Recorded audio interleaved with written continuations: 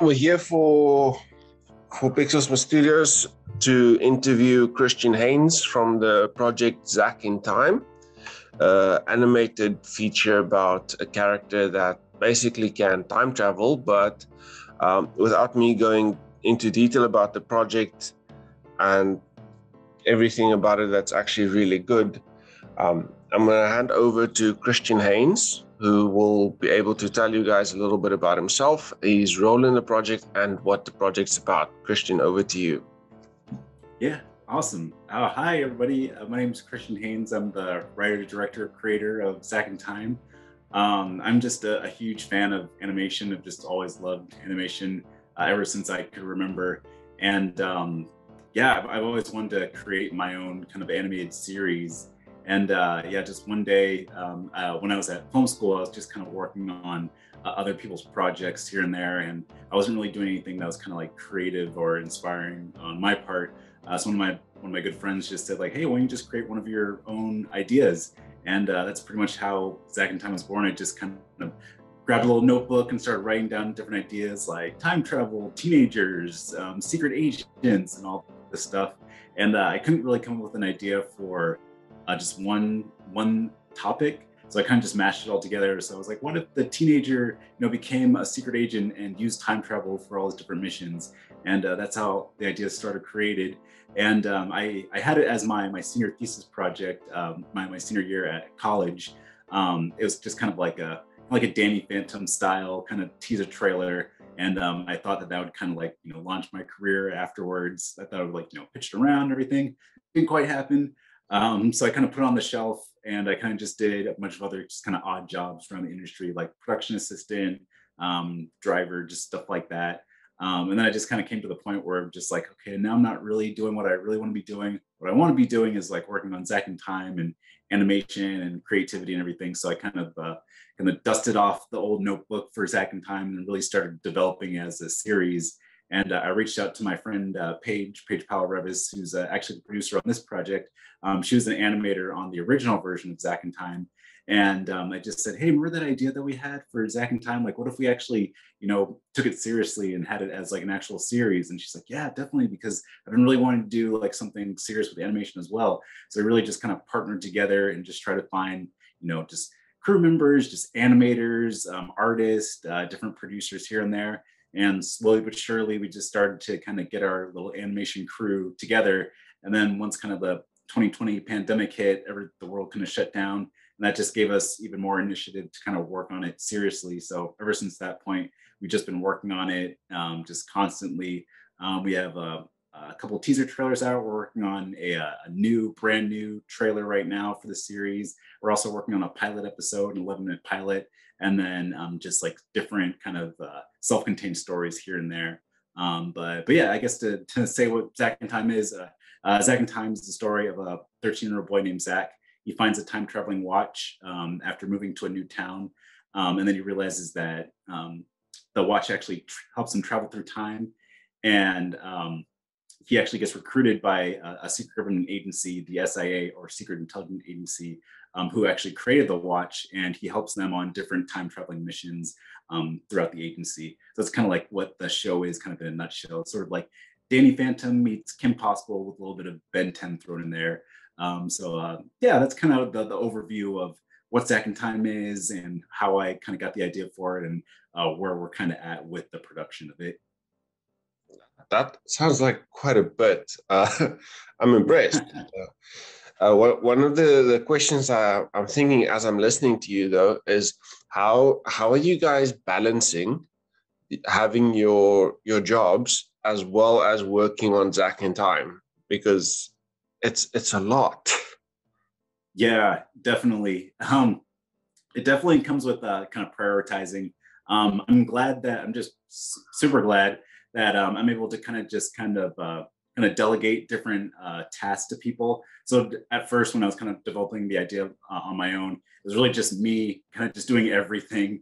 And then uh, once Paige came in, I was able to really kind of delegate things like, okay, you do the storyboarding, you do the designs, you do the sound, you do the music. And once we kind of started building our crew a lot more, uh, we, we were able to kind of um, divide up the production a little bit more to make it easier for us so that people you know who do have day jobs or who go to school um, can kind of find that balance and uh, right now we don't really have like hard deadlines like we have to get this done by this month or this week. Um, we're just kind of we understand like you know people have like their other their lives in school and uh, other projects that they're working on. Um, so we kind of try to have that like kind of like work life balance kind of thing. Um, so pretty much any time like a, a volunteer can just you know volunteer their time and if they have like a day or like a week or like a month to work on whatever task or shop that we have for them we're definitely grateful. Um, so that's kind of how we kind of balance it out um, it, it kind of makes it a little bit hard because it kind of makes the production process a little bit longer but you know it really gives people an opportunity to really like learn like as they do it so they don't really have to feel like rushed or you know stressed out about trying to get something done on time. They can have that balance. That's that's awesome. Uh, i remember uh, uh, trying a project of my own i think it was last year or the year before yeah the year before last um, and it was it was quite difficult balancing it with the, my day job because um, I also have a full time day job in uh, Pixelsmith Studios at the moment. is It's a bit of a, a, side venture for myself and and the two other guys who are involved at the moment, but it's it's been rewarding as well. And how you explain it here is how we also approach um, all of the things we're involved with. Like you you work on it as you can, but we hmm. we also and you guys are dedicated and you actually put in the time when you have it and when you can you do a little bit more and that's how we also work things because we understand that that work life balance is quite hard um, with that then i would also ask so have you ever reached a point where everything you've been working on you just you just feel a bit burnt out and then if so how did you recover from that and then got over um, that initial stages and then found the the um, creative drive? You found the energy in yourself again and you you're able to pick up your pencils. You're able to just start over again from where you left off last and just go. Yeah definitely. There's definitely been uh, ups and downs uh, with the production uh, that's for sure um, where there's like really high highs and really low lows. And um, you know when when you're at that that high um, you know you feel like the ideas never stop and you know the, the, work never stops and you're like you're enjoying what you're doing. And then there's moments where there's just like there's nothing where just like uh, is this product still being made? And you know you just you have those doubts in your in your mind like oh did i make the right decision? Am i is this project going to be worthwhile?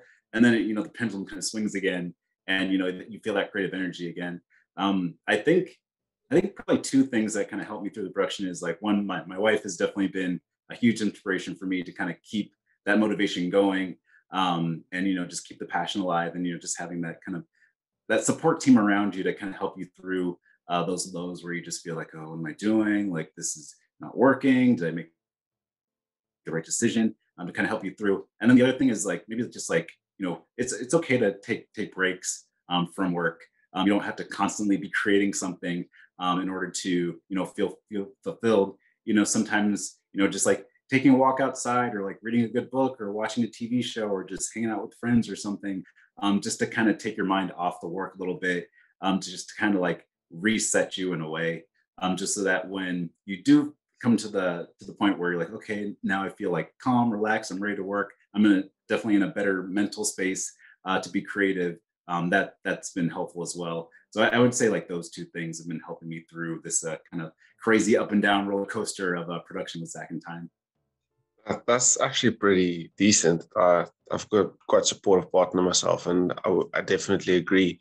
Having supportive people around you, friends, family, and that actually stand by you and help you during those times, it, it makes the world's difference. Um, I, I think I would have been a lot more burnt out by now if I didn't have a partner telling me you should take a break now or have you had enough water? yeah.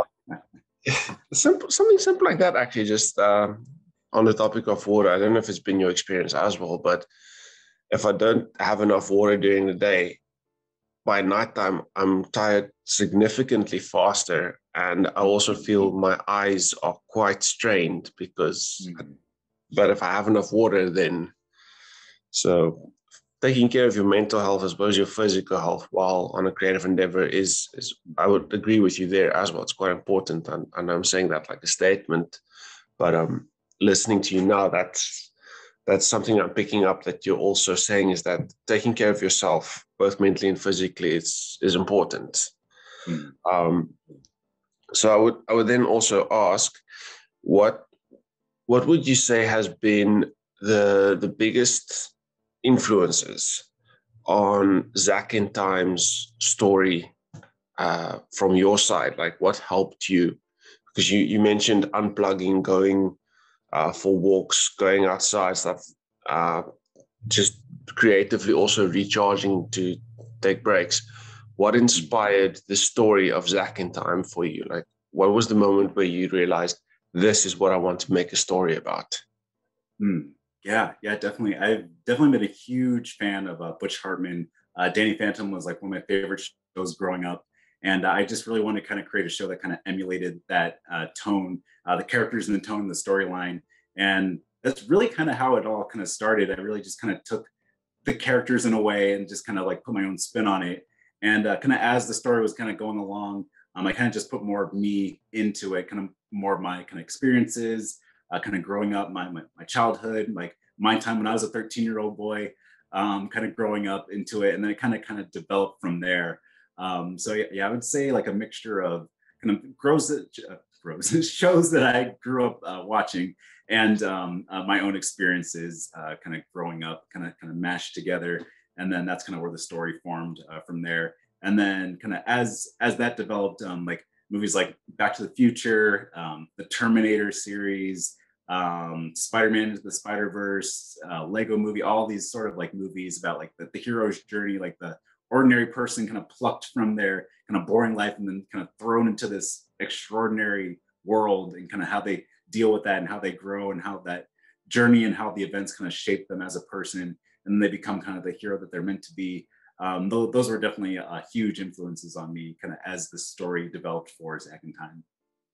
That's that's actually pretty cool. I love that you mentioned the hero's journey. Um, it's something I'm also quite familiar with, and being involved with marketing for the last eight or nine years, it's something that the, even marketers use about the hero's journey. Uh, and I like that you mentioned that. Uh, where if I may ask, how how did you come to learn of the the hero's journey? Because a lot everyone has a different way of finding the hero's journey. Same as with how the hero in the hero's journey always has different ways of finding their call to their call to action or their call to adventure. Um, how did you come to to learn of the journey? Yeah, I uh, I had a, a uh, class, um, the the art of storytelling class at, at Biola, my my freshman year of college and um, the the first book that we uh, read was the the Writer's Journey by uh, Christopher Vogler, and um, and how he was inspired by um, uh, Joseph Campbell, um, the hero of the thousand faces. And then I, have always heard about that because like I'm a huge Star Wars fan, and I know like, George Lucas was inspired by Joseph Campbell and uh, the hero of the thousand faces. Um, and actually, yeah, I actually bought both books and I've read them um, uh, uh, once over. And yeah, they're really good. Every time I come up with like another story idea, I'm always looking at the little graph of like hero's journey, ordinary world, call to adventure, meet with the mentor, crossing the threshold. Like I always try to make sure I have those little steps every time I'm writing like an episode of Zack Time or like the the, the web series version. I'm always kind of try to check in with the kind of uh, ancient uh, story structure uh, with that. So I've uh, I've always uh, been familiar with that ever since I was like, I was like it was 18 when I did that, and I'm like 28 now. So yeah, about about 10 years of being uh, involved in like the whole hero's journey and everything um, as far as like story structure for um, for like Zack and Time and other stories. That that's pretty impressive. Yeah, I only I only learned of the hero's journey about two two three years ago, um, and it was when we were doing at the job I had at that time it was a we were busy with a uh, a workshop about restructuring our marketing material and we just got a new marketing manager in as well and then he showed us uh, the hero's journey and how brands use the hero's journey to communicate to their customers um, and how they position themselves and I'm, I'm not sure if you've seen this already, but being as familiar as you are with the hero's journey, you, you, you would likely have noticed this. But brands always place themselves in the position of the mentor and then they put the customer or the client as the hero. So so that that that whole um, setup was my introduction and it, it was really cool. Once I, I, figured and then from there i also bought the the hero with a thousand faces book. Um, i'm about i'm about five pages in uh, then then we moved house and the, the book is currently still still packed away. I don't have a bookshelf uh, set up for it yet. So once my bookshelf is up, I'll pack the books out and then I'll continue reading this, the book. But it, it's it's a really powerful book. Uh, just on page five already, uh, my mind was blown by how Joseph draws the the comparisons. Mm. Um, but that sorry, I, I went on a tangent now because that, that was that's that's something that I that's a topic that I'm, i enjoy quite a bit is how people can make links to things. Um, like I I love how you linked your your creative influences and made a story. Uh, when I saw the artwork for Zack and Time, my my initial thought was, "Hey, this looks a lot like Kim Possible and um, Fairly Odd Parents and Grim Adventures of Billy and Mandy." All favorite shows of mine as well. And I, w- I was wondering, did you ever meet Stephen Silver? Uh, no, no, I haven't. Uh, I would I would highly recommend you um, you reach out to him and say hello and show him your work because hmm. um, he's the the guy who worked on Kim Possible. Uh, I think he actually made Kim Possible, and the the style that Zack and Time is in is a style that he's also quite well um, quite well used to with working in. And he has a academy where he teaches uh, people about drawing shape languages and all that stuff. And he uses his drawing style to teach. So a lot of his students will have a lot of influences from how he works. Um, I definitely do reach out to him show him your work tell him your story. I am sure that he would love to to uh, basically just see it and go, hey, this is really good. Um, he, he's always supportive of artists and what from what I've seen him post online. But apart from that, uh, has there been? Sorry, we, we went on a whole tangent now. um, no, it's all good. Yeah, I love Curious Journey and everything. I'm like a huge story nerd. Like I am always reading like books on screenwriting and storytelling. So yeah, this is like yeah, this is like good for me. Yeah. Um, so on that, then there are two books that I need to send to you. The the titles of uh, the one is uh, both about video editing. Uh, believe it or not, but uh, I've I've learned that in the creative world, everything is linked. I um, I I had a, a art lead about five years, four or five years ago, at a diff- when I was working digital agency in advertising industry, and he uh, asked me to, if I want to get better, what do I think I should do? And we had a discussion, and he said to me, "Draw, start drawing.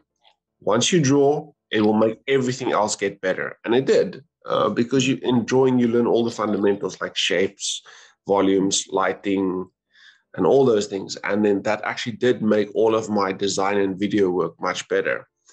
Uh, but that was then, and since then I've grown significantly, and I still draw till this day. So, so yeah. Um, the the one is that in the blink of an eye or something like that, and then the other one is the eye is quicker. But it's it's even though it's about video editing, um, I think there will be quite a few takeaways that you that will most likely reaffirm what you have already read or seen and there might there will definitely be one or two different views that you're like, hey, this is this is quite a good way of looking at it. So I'll I'll be sure to send you those two titles as well. Um, so then my next question is have you ever had a, a moment where you're busy working on Zack and Time and you just everything was just going well and you figured, hey, I would really love to do this. I think this is the right space for me to be right now. And I would like to do this a lot more full time or a bit more as part of my career before moving on to a new project. Hmm. Yeah, I think uh, I think pretty much since I've always since I first came up with the, the idea of Zack and Time, I've like always wanted to just pursue it as you know the thing I want to be working on. Pretty much like pretty much yeah for the rest of my life, you know, as my career. Um, and like I've always had like other ideas, you know, other like movie ideas or like TV show ideas or like you know, book ideas. But and there's just something about Zack and Time that's like always, you know, just stuck with me. Um, I guess probably because it's just it's the most personal story I've come up with, and like every other story that you know I try to have like another like personal spin on it. Um, it just has been like compared to Zack and Time. Like every time I think about it, I can always just think of like 15, 20 different ideas of like, oh, this Zack can go here, the the agency can go here, and like I'm always like coming up with ideas like world building, and uh, like other people kind of ask me like like how come what what is it about this idea that like you always keep coming back to? Like I know you have like thousands of other ideas. Like what is about Zack and Time? Like I, I don't I don't know. I think just from the moment I came up with it, like really, pretty much like lightning struck in a way, and you know I just can't stop thinking about it. And you hmm. know if, if it ever you know does become a series, then you know I definitely would love to work on it for like five, four, five, six years. Um, if if you know that ever happens, um, and you know if I have other ideas that come after that, um, that that would be awesome too. But yeah, I, I, I can't really explain it. But yeah, it's just like the in Time, like it just feels like yeah, this this is the show I really want to be working on, and um, yeah, I can you know spend forever the rest of my life working on it and uh, enjoy doing it. Mm. I'm gonna I'm gonna phrase my next question more like a statement, um, and I would love for you to weigh in on this. Uh, it sounds the way you're ex- describing it. It it sounds like um, it more like the you spent quite a bit of time on this already. You you found your passion for it. Um, you know that this is something that really sits with you. You you love the story. You love the characters. You love the events that shape the characters. So I would say you've become emotionally attached to the uh, to the IP, um, and you've poured so much of your yourself into the IP that it it just feels like a part of you now, and that's why you keep working on it. Mm.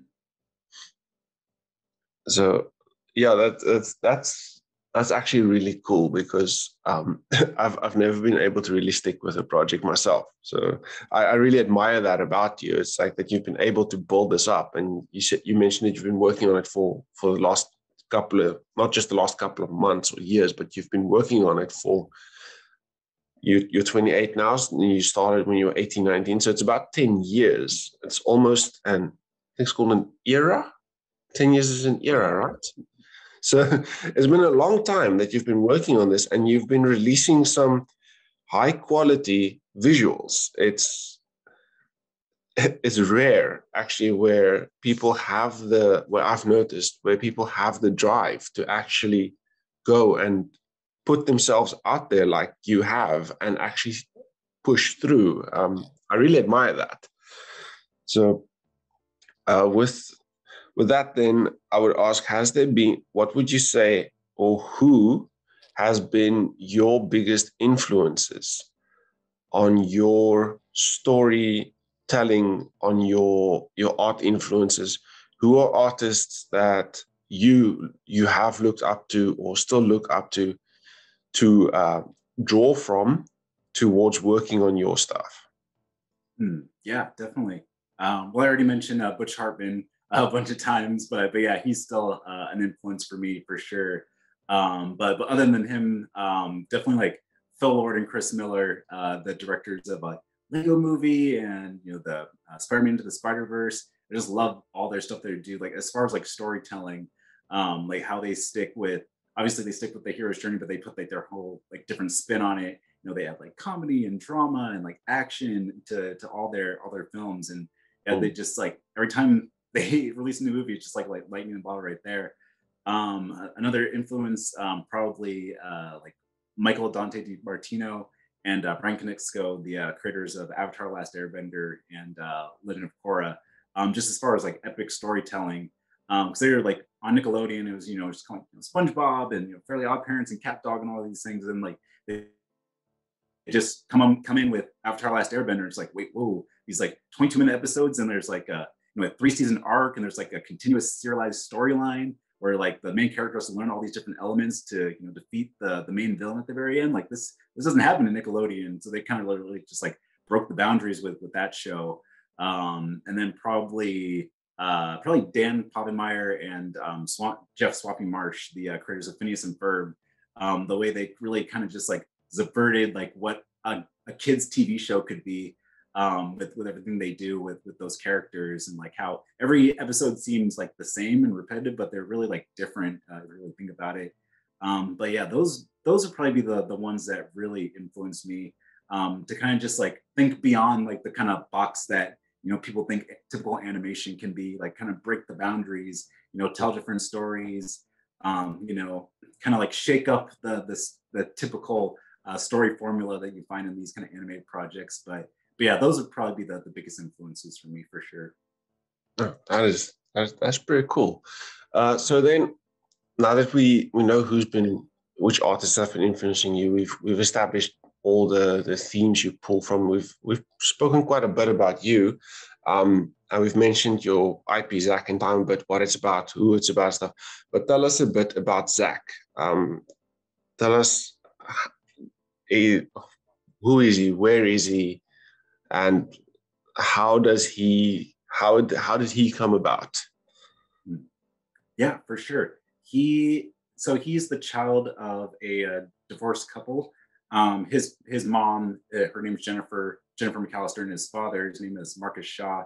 Um, they they're they're an interracial couple. Um, his father's black and his mom's white. Um, so that obviously kind of created like some some tension uh, here and there just between their their different families. They loved each other, but their families kind of were just like, oh, I don't know about this and everything. Um, but yeah, they just kind of ignored it. But then you know they came together, got married, and they had Zack. Um, but the the problem was Marcus, his father, was kind of more kind of influenced by his like potential you know, music career. He's like a musician, um, you know, sung in like a jazz band and everything, and he really kind of wanted to kind of pursue more of his career rather than focus on his family. Um, so he ended up kind of leaving his family behind, leaving um, Zack and his mom behind.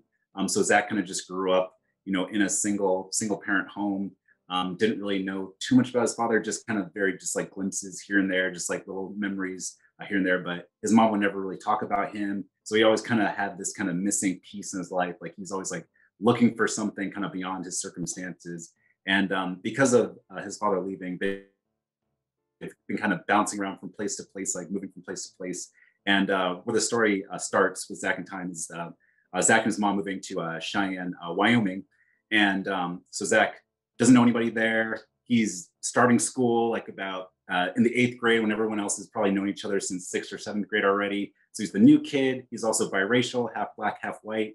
So he doesn't really know which group to hang out with. He's kind of walking down the hall, like, okay, do I hang out with white kids? Do I hang out with black kids? Like, where do I fit in? And then you know, some, one day he kind of stumbles across the, the time traveling watch, and he doesn't know it's a time traveling watch. He just thinks it's like you know this cool looking watch. You know, takes it back home, puts it on his wrist. It like uh, uh, latches onto it, and then suddenly he's transferred into like American Revolution to you know Great Wall of China to ancient Aztec times, you know all these different places, and he's like, whoa, what what the heck is going on? And then as the story goes on, um, he realizes that it was actually created by the secret government agency, and there's this whole break-in by the villains who try to steal the watch, and they kind of lost it in the car chase uh, afterwards. And he kind of gets wrapped up in this kind of new adventure with these secret agents. So not only is he kind of like the new kid in the school that he has like no idea how to really navigate, but now he's also kind of the centerpiece within this agency, and now he has to kind of fit in with within the, the, the agency world. So it's kind of like these balance between two worlds where he's trying to fit in with you know his classmates and you know his friends at, at school,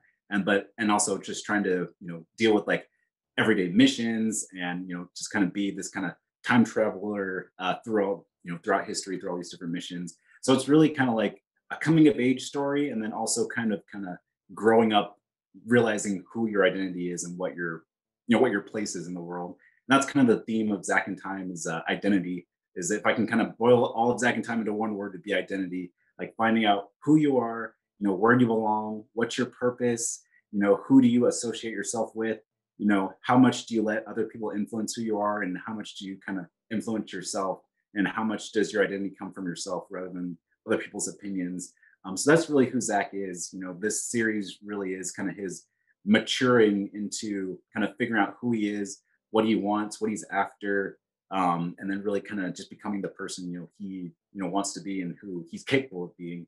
And that's really what I kind of want to inspire you know kids and you know all audiences of this show is that you know no matter where you come from, no matter who you are, you know you can find a group of people that you belong with, and you can find you know a way to you know be proud of who you are in a way and not let you know the outside world kind of tell you who you are but really you know you can figure that out you know for yourself and you're capable of that so yeah it's kind of the all Zack in Time kind of in a nutshell really yeah uh, i think when i have kids this is definitely the kind of story i, I would love to show them like because it the the um backstory to Zack that you explained uh it hits quite close to home for myself as well and the, the themes that you mentioned it's it's all themes I think that are very important for kids to to be exposed to quite early on growing up.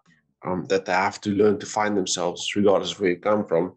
Um, and also, you mentioned the the black and white families that there's tensions, and but the mom and dad were still able to fall in love, and I think that's also important. Kids need to know that you can do that. You can be you can fall in love with other people. You don't have to fall in love with someone that just your mom and dad want you to fall in love with. You can have a life. Um, like you, you mentioned his father wanted to be a musician and uh, the family sadly separated um, from there. Yes that happens. There's a lot of families in, in the world today that don't stay together. So these are all themes that deal with real life issues, well, not issues, I would say real life moments that we have. That's quite common. And I, I, think it's really good that your show incorporates all of that into your character. Um, then from there, I would ask, who is the the villain? Because we now we know Zack, but who's the villain? Who's the, the guy that he always thwarts, the plans that he always foils? How who who how does that fit in, and who who do we see playing along that story. Mm, yeah, yeah. The the main villain, his name's uh, James Hale. Um, he's a he's a very interesting character because he's a very like sympathetic villain in a way. Um, the his whole backstory is that uh, he and uh, Beckett, the main kind of mentor character in Zack in Time, um, they were best friends. They were they were both recruited by excuse me by uh, director North, who um, kind of started the SIA in order to kind of kind of pull off missions that you know the normal government kind of wouldn't really be too kind of too scared of, or you know would be you know kind of slow in acting towards. So he she was just kind of recruit a bunch of different like scientists and engineers to kind of come up with a tool to kind of you know help them in different missions. And um, after she hired Beckett and Hale, um, she kind of paired the two up together to kind of come up with this new idea. And as they collaborated, they came up with the idea for the time traveling watch and you know they were they were working on it for like months and months and months and you know hale was kind of more in for it for kind of just you know the the discovery of science you know just like finding like the new kind of the new thing uh, to kind of work on. And uh, beckett was kind of more towards like kind of steering more towards kind of the glory of it all. Like oh once we show this idea to the agency like we're gonna be promoted to head agent and everything and that's where they kind of have that tension uh, in a little bit. Um, so uh, one day, uh, Beckett actually took the idea for the time traveling watch as his own.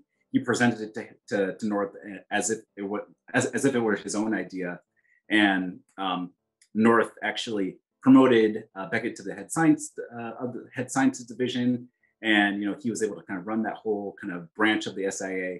And then uh, Hale, on the other hand, he felt very betrayed. He felt, you know, like his back was turned on. Um, like he was, he was very hurt so he ended up leaving the, the SIA and um, kind of plotting his revenge on Beckett and on the SIA for kind of stealing his uh, their collective idea and kind of taking it as his own. Um, so we kind of cut to 20 years later, where at the start of the of uh, the series, uh, Beckett is actually um, working on the time traveling watch and kind of uh, finally uh, finishing finishes construction on like a prototype of the watch that's kind of ready for use. Uh, and then Hale's trusted henchman William Pierce breaks into the SIA, steals the watch, and in a ensuing car chase, um, they actually lose the watch, and um, they kind of have to like you know reassess their plans after that. And then kind of after um, they figure out where the watch is. They find out that Zack has the watch, and it becomes this whole kind of like Terminator thing of like, you know, Terminator slash uh, Sarah Connor and John Connor, like trying to get the watch back from these two different sides. Um, so that's pretty much who who James Hale is, kind of like the the empathetic villain um, who you know felt very betrayed um, by by by Beckett um, for taking the watch as his own, and then you know now he's swearing revenge to get the watch back as his own, or find his own, or make construct his own time traveling watch to uh, have revenge on the agency. So that's kind of where the conflict comes throughout the series. That's pretty cool. Uh, you're touching on the theme there that's also uh, really good is the um, the villain feeling betrayed, but he wasn't really. So, um, but also uh, with villains, I've noticed that there are very few villains who are inherently just evil. Every villain has a reason for being the way they are. Um, so that, that's also pretty cool. I, li- I like the, the balance that you have there between between the villain and his story, and you have Zack and his story. So it's it's two quite people who are quite different. Um, so then who are the the sidekicks to Zack? Like who are the people that he he relies on, goes on missions with, or goes when you when when he's not maybe when he's not on a mission, it's his friends or stuff like that. So who are the supporting characters to Zack? Hmm, yeah, definitely. Yeah, he has uh, two best friends, uh, Kendall Campbell and uh, Angela Long.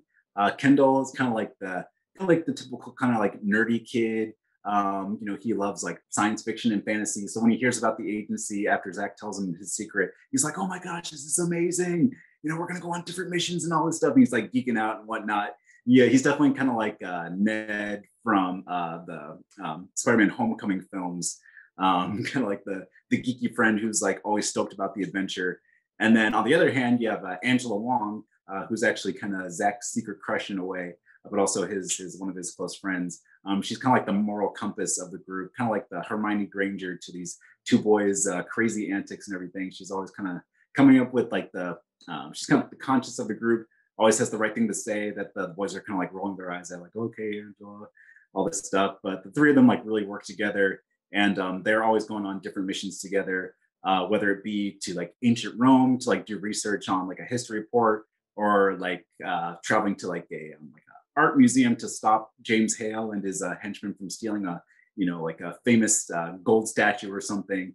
Um, but yeah, the three of them are, are kind of like the primary characters that'll be going on the missions uh, throughout the series. And the two of them really kind of help support Zack um, just so he doesn't have to go at it alone um, and really kind of be like, like his, his uh, moral, his moral backup as well as his like actual backup with like, you know, combat and uh, all these things with the missions and everything.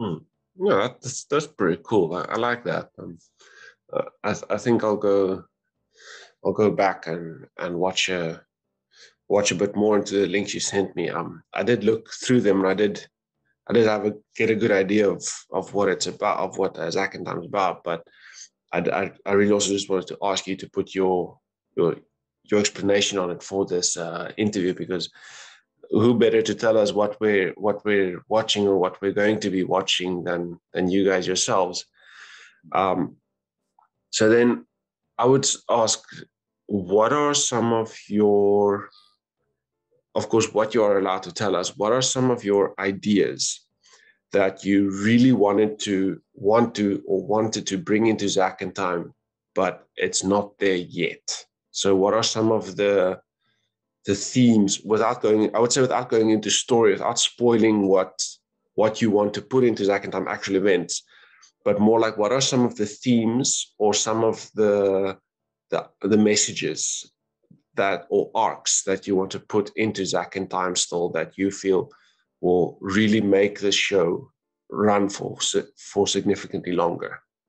Mm, yeah definitely. Um, yeah, I really would love like the show to kind of start off as kind of like you know like fun episodic episodes, and then kind of mature as the characters gone on, kind of like the whole kind of Harry Potter model of like the first one's you know very like kid friendly and everything, and by the time you get to the seventh one, it's like super dark, mature, and everything. Not that I want And Time to be super dark, but I really want to kind of grow as the characters grow and kind of become like you know a little bit more mature. You know, have them face like kind of kind of uh, tougher themes and everything, and kind of really just kind of get into that. Um, like one of the main themes I really want to get into is kind of like the the whole kind of double life uh, kind of conflict of like you know the character kind of switching between his normal world and um, the agency world and how those those two worlds really don't mix and you know how there's going to be conflict um, between those two worlds like you know instead of studying for a test he's like on this different mission or instead of you know preparing you know with this combat training he's you know stuck in detention. And you know the, this kind of whole like conflict between these two worlds i really would love to get more into that theme um, uh, as the series series goes on um, and kind of like the choices that he that zack has to make uh, the sacrifices that he'll have to make both with his normal world and the agency world uh, in order to kind of find this balance uh, this uh, supposed balance that he, would he would love to have um, so that's, that's one of the themes and then i would really love to get into like kind of like um, uh, familial themes, like more about Zack's family and more of Zack's past and his history, um, just like just who he is as a person um, and how his past kind of influences his present and therefore kind of you know predicts his future in a way. Um, I'd really love to get into that. Um, and yeah, just more of just like more just like time travel stuff, more like uh, uh, mission uh, stuff. Um, yeah, just more just kind of uh, uh, like I, I, keep trying to avoid the word darker because I don't want to be like you know dark or scary or anything, but just like more, uh, I guess, mature, more serious topics that, that I love these characters to to confront as the series goes on. Mm-hmm. Uh, I would I would say uh, to that. Well, well, first I've got a very myself. I've got a very dark sense of humor. So when when when you say darker, uh, and you uh, associate it with mature, I, I immediately realized that that's what you meant. Because um, growing up, uh, for for me, life has been interesting, very very educational, um, but also as I matured, I realized with you and you you saying darker, it's like that's actually how it is because the the tougher decisions we make that shape us and the life lessons we learn, especially the hardest ones we learn it from experiences that we would rather not repeat. And that's also something that I associate with dark humor. It's like you don't want to be there, but you learn to you learn to live with the the lessons you've picked up. Uh, most cases, also the trauma, and you learn to deal with that trauma. So mm. I think that you incorporating that into zack in Time is a really good um, component which means I would actually love to watch the show as well. It's not just going to be for kids. It's introducing that element for me, for me. I would say you're making a show that's basically for all ages. Um, it's not just starting out as uh, it's not just a kid show. It's it's all ages show, but it has lessons for kids and it has moments for adults to connect to and relate to that from their past experiences. So I quite like that. Um, and then then yeah uh, so then from from that when when you set up now we've we've established that. We've established the villain. We know who's the the sidekicks to the two sides. Um how how would you how did you find your inspiration for your your story settings? Like because i mean we have the characters we have the story but now the settings you like the backgrounds the the um, episode themes, like for example, art museum that they go to, or you mentioned the Aztecs or the ancient times. Um, how did how do you go about deciding? Okay, this is what I want this episode to play out in, or this is the the, the timeline that I want this episode to be in. Is it like something from that timeline that connects to the story of, of that episode, or is it a bit at random? Um, how do you choose the the stage essentially? Yeah, definitely. Um, I think it can be like a bit of both. Um, I'm a huge history nerd, so um, having a, a, time traveling story was definitely enjoyable for me. Um, and just like reading through history of like, oh, kind of in the back of my mind, like, oh, that'd be kind of cool if like Zack popped in at that moment or something like that. Um, so there's there's like that that uh, aspect of it.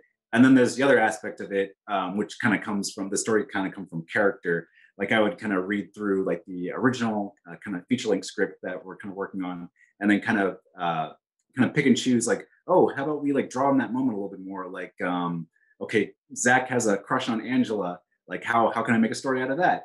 um, like okay how about he it's kind of like a groundhog day kind of episode where like he tries to ask angela out on it to the school dance and you know he keeps failing so he keeps having to go back in time and like redo uh his uh his asking out because you know like one one time he like tripped and fell and like you know he humiliated himself or like he couldn't get the words out so he has to go back in time and like start again so sometimes it just comes from character where this where the storylines can go or like just a funny idea that I would like to kind of develop into a full episode. So it kind of it kind of comes uh, um, either way. Like either it'll just be like a random idea that it's just like, hey, I think it'd be fun to do this, or like it really become like uh, it would come out of like character. We're like, okay, so Zack has trouble with the bully, so maybe he goes back in time to you know the gladiator times, and like he learns different skills to fight off his enemies and stuff like that. So yeah, it kind of comes like with uh, two two different ways, either randomness or a, a, a character base.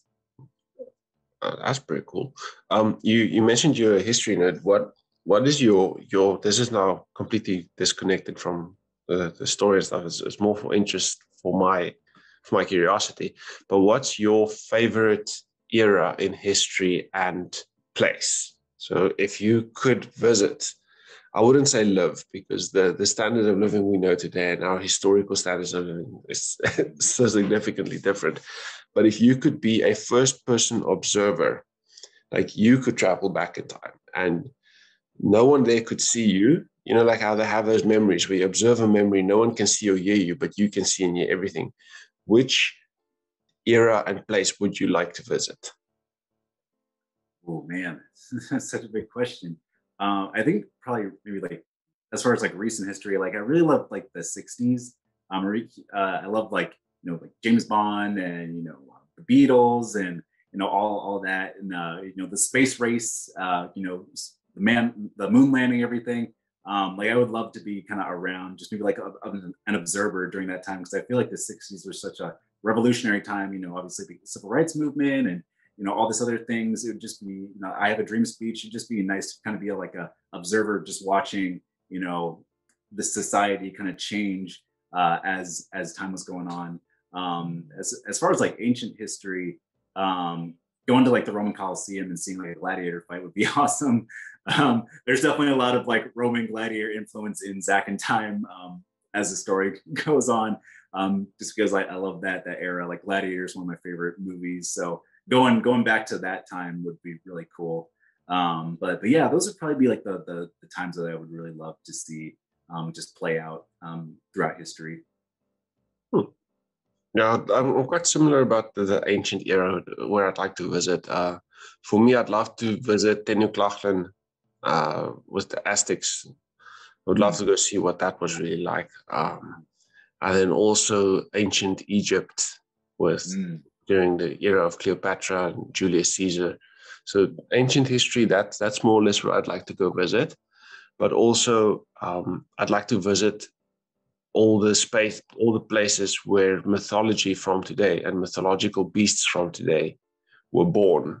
Like, how did this beast come into existence from XYZ's um, explanation? Like, for example, a chimera. Like, uh, what what did they see that made them describe the creature they saw? Because I know there's people when we can't describe something, we try and rationalize it and we try and put things together to explain it, and then so that's how we get a lot of the explanations from the past that we're like, okay, so this beast is that, or like the Cyclops, and so I would I would really love to to go back and see where the mythological beasts and stories that we know today were born. But again, yeah, it's it would be cool to time travel um, and observe. I wouldn't want to change the past. Uh, there are yes, a few same. things that I would.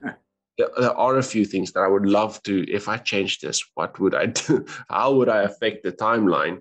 Um, but with that being said, not wanting to change the past, I really, and this is just from me personally, I really hope that as people we can get over all of the the things and become a better race for each other as well as for the planet but also to love more. Like I, I really i really wish that would would happen and i really wish that people can just grow up. Like for for lack of better description yeah.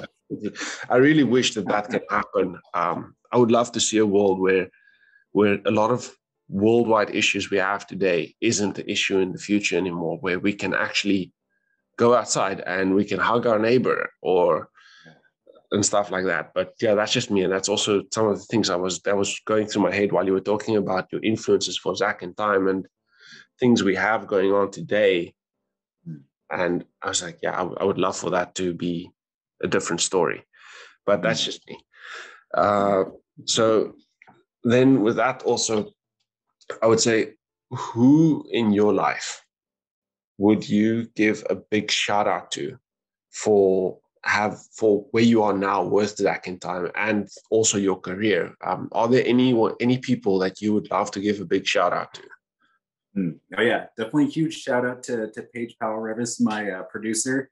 Uh, without her, pretty much any version of Zack in Time like wouldn't even exist. Uh, the the original version uh, that, that we did back in college, she pretty much animated like half the shots on that one, and then with this new version, she pretty much assembled the entire crew. Like I, I had a hand in um, selecting a, a, few people here and there for, but a majority of the crew was actually all kind of handpicked from her.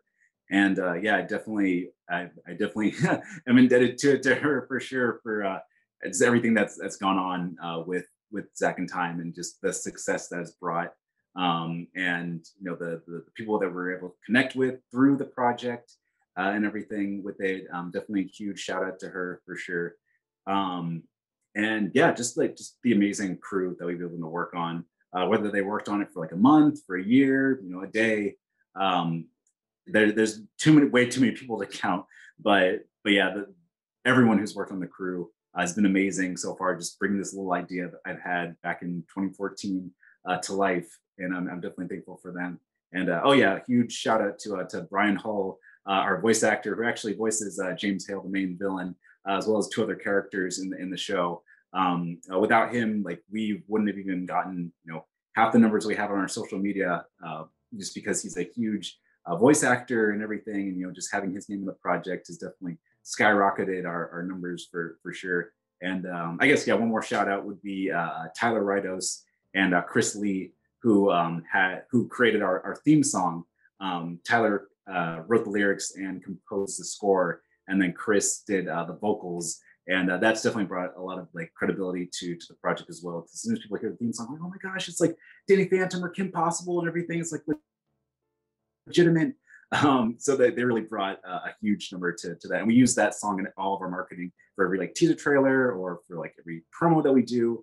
Um, so yeah, we, we definitely have a huge shout out to them. Um, but yeah, those, those would be like the ones um, would really kind of help uh, as far as like the crew and everything. And then emotionally, obviously, my, my, I have to give a shout out to my wife, um, just helping me emotionally through this whole process and everything, this whole production, um, through all the ups and downs, um, through the the high hopes and like the the, the low valleys and everything.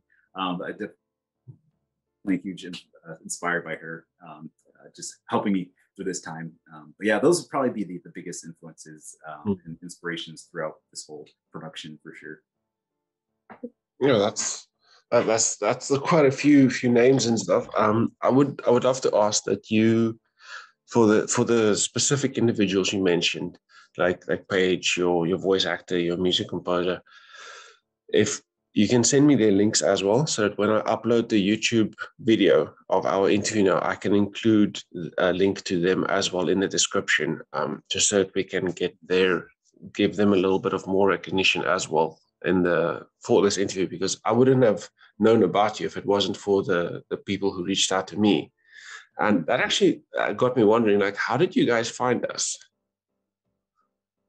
Yeah, that was all. Um, it's like partly partly Paige and then partly uh, Jose, our uh, production assistant.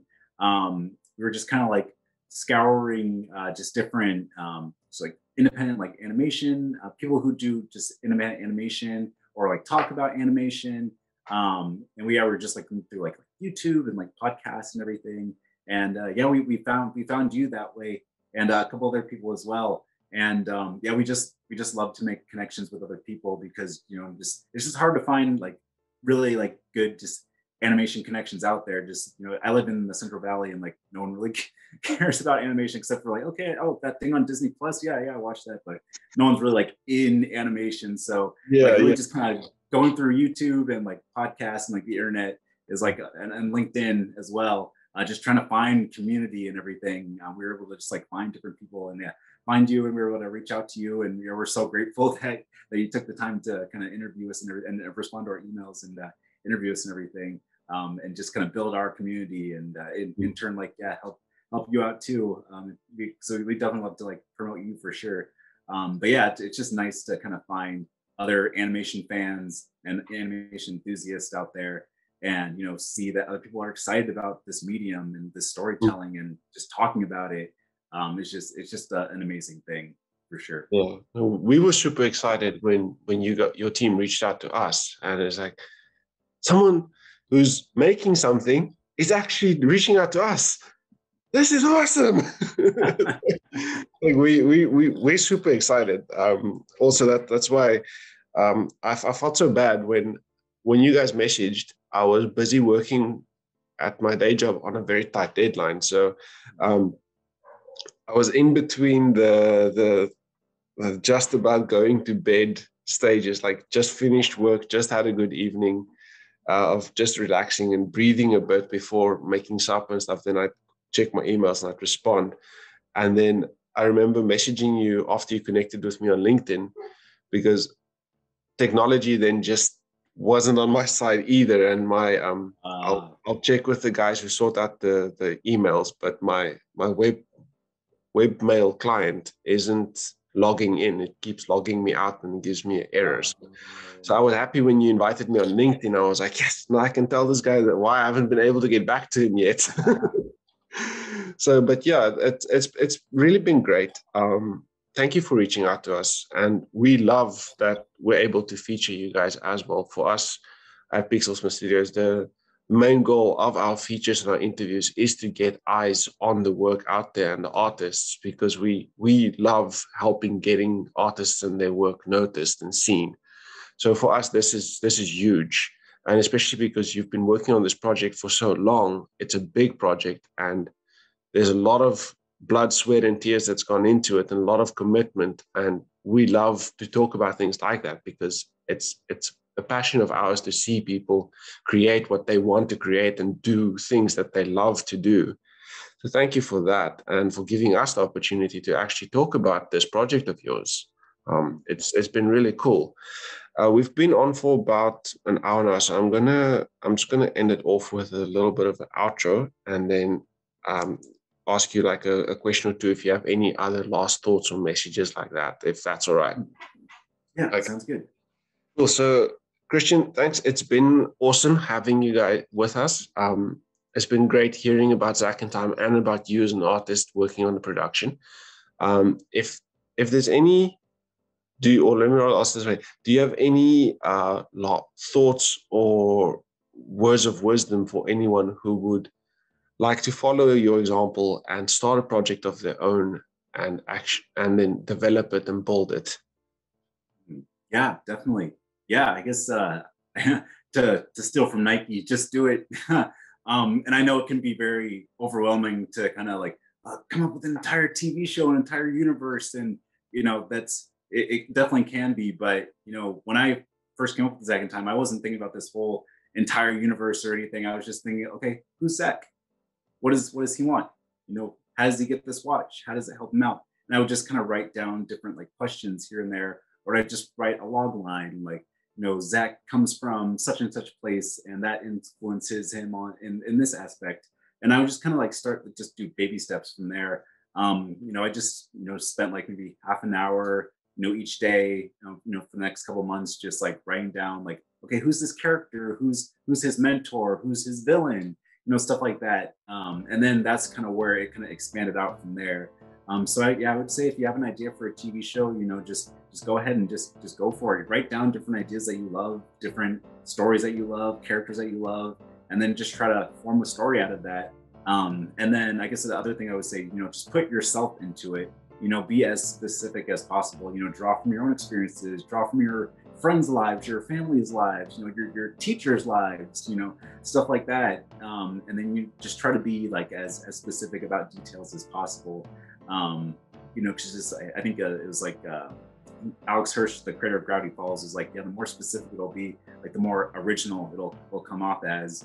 Because um, if you're just copying what other people do, people are just like, oh, I've seen that before. But if you draw from your own experience, like when I was eight years old, I ate a bug and I threw up in the middle of class. I'm going to write that in the story, you know, just some random thing like that.